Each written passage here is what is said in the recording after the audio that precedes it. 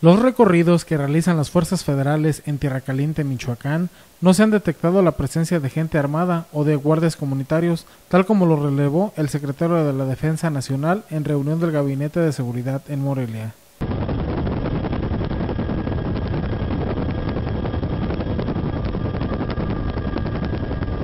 Esta es la zona donde tenía su campamento el grupo de autodefensa de la Ruana, desde el aire los militares solo observaron una señal de SOS formada con piedras y costales para ser vista desde el aire.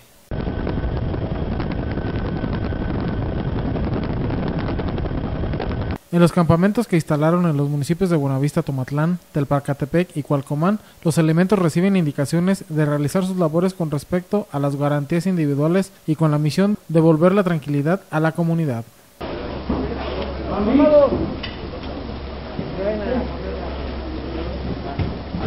El general al mando de esa región, el comandante de la 43 Zona Militar, recordó a los elementos la importancia de su labor. Pero hay que consolidar esta situación. Hay que darle esa certeza y esa tranquilidad a la población con nuestra presencia y con nuestra actuación. Además de los recorridos de vigilancia de las fuerzas conjuntas, Estado y Federación, también se trabaja en la labor social. Con camiones del servicio médico se dan consultas y presta servicio de atención dental y hasta corte de cabello. Los habitantes consideran que la intervención debe ser integral porque hace falta muchas fuentes de empleo. Pues la verdad yo opino que estuvo muy bien este servicio, la verdad. Porque pues esto estuvo muy bien porque económicamente pues no, ahorita el tiempo la verdad no nos permite, no hay trabajo, mucho calor para eso. Las consultas médicas, las consultas en, en dentistas también. La verdad estuvo muy bien, muchísimas gracias, estamos muy agradecidos todos por la labor que vinieron a hacer. Lo del corte de pelo también.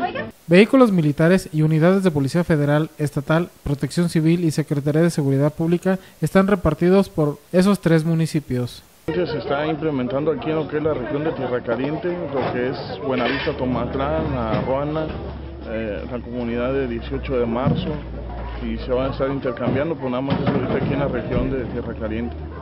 Por la tarde, un grupo de habitantes de Buenavista Tomatlán bloqueó la carretera que comunica el municipio con Apatzingán e impidió el paso por lo menos de 20 unidades de militares y policías que participan en el operativo.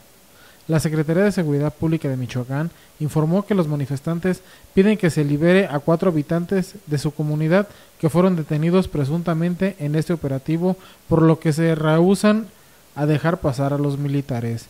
Las instrucciones que tienen los militares es de actuar con prudencia ante este bloqueo. El aguantar que nos detengan, el controlarnos y no hacer cosas que no debemos, en mantener una disciplina, no cualquiera lo hace. Personal de la Secretaría de Gobierno de Michoacán entró en pláticas con ellos para que retiren el bloqueo. Este incidente fue único que se ha presentado hasta ahora a tres días de que arrancó la estrategia de Estado-Federación para traer tranquilidad a esta zona. Con información de Liceo Caballero, informa Cuasar TV.